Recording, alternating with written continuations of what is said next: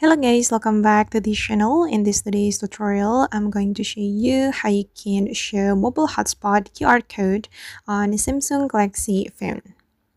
Okay, let's get into it guys. I have opened my Samsung Galaxy phone and first thing first, I'm going to go to my settings.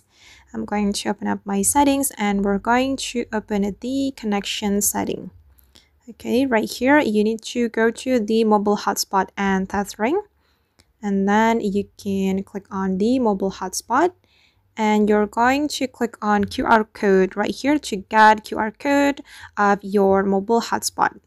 Okay, I'm going to tap on that and then you'll be able to um, share the QR code to your friends. So if they want to connect um, their phone to your mobile hotspot, um, they just need to scan this QR code they don't need to like um, connect with Wi-Fi and then enter the password. No, they don't need to do that. Uh, they just need to scan this QR code and um, their device will be connected to your mobile hotspot.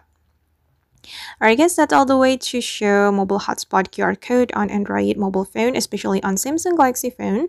I hope this video will be useful for you. Thank you so much for watching and see you in the next video.